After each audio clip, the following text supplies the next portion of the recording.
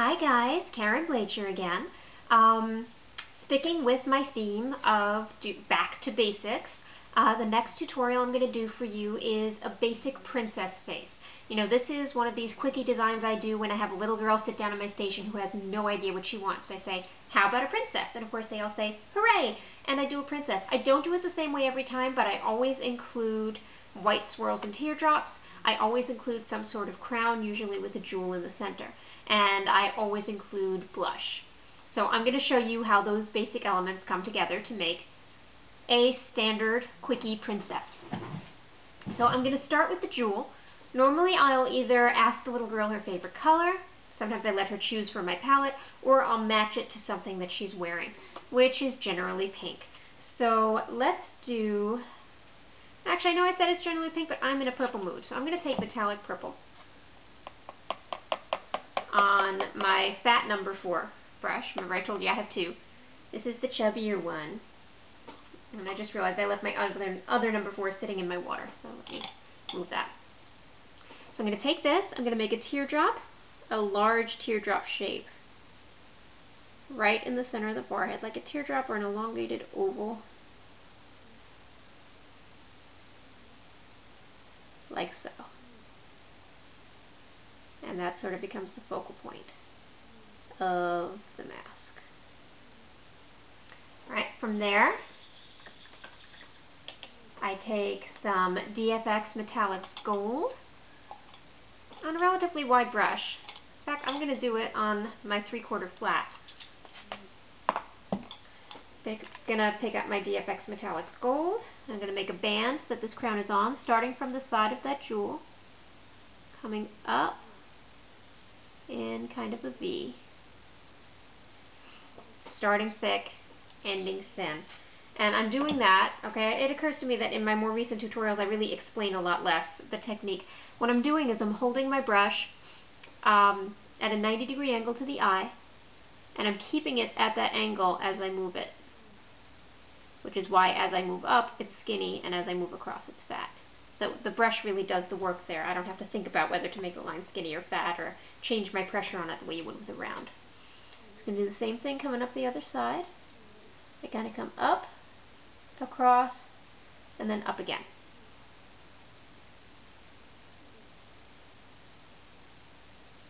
Just making sure that kind of meets the gemstone in the center there. There we go. All right, now I embellish the crown and the whole design really with a whole lot of white.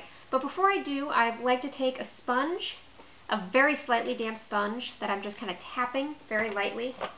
You can see, just tap tap in my fuchsia and just do a little bit of blush.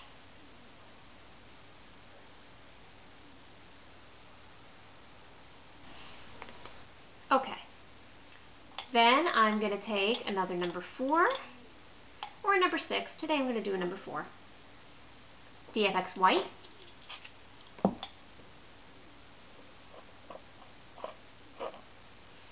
I like to run some swirls up alongside the stone here.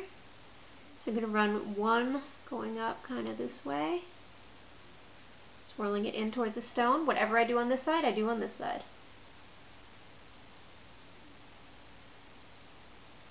Try to keep it as even as possible.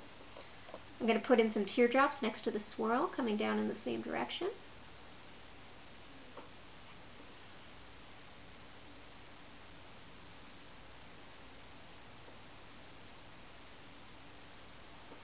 Okay, then I'm also going to put some teardrops under the stone pointing up towards the stone. I usually do either a set of three or a set of five. With one large one in the center and smaller ones to the side of it. And the same thing above. Only above, I think today I'll do three than five.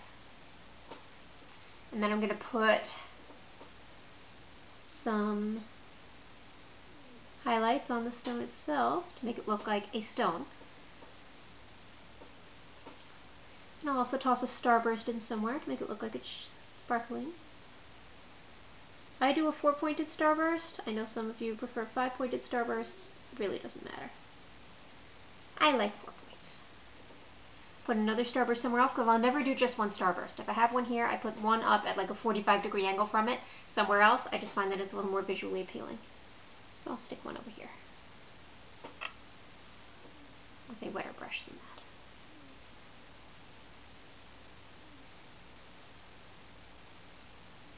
I like to accompany starbursts with dots. Sorry guys, camera ran out of power, but I'm plugged in now and this design is almost finished anyway, so we should be good.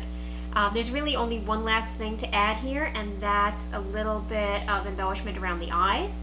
I do that with some quick teardrops. I like to do three at the corner of each eye.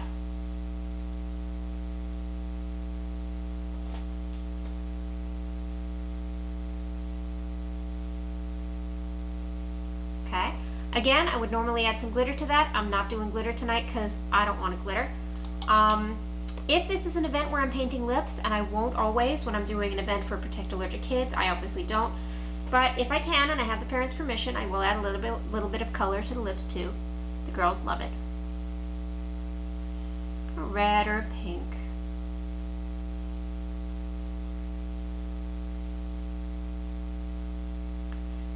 And there we have a really quick and easy princess mask. Hope you enjoyed it. Hope you can use it. And I always appreciate your feedback on what tutorials you'd like to see next. Otherwise, I'm just going to keep on rolling out random ones for you and hope you like them. So I will see you guys again soon. More tutorials to come. Thanks.